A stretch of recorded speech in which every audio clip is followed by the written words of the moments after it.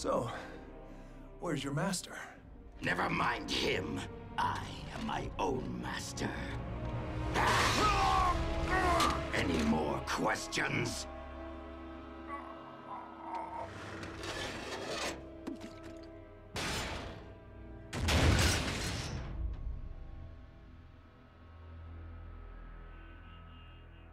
Clean that up.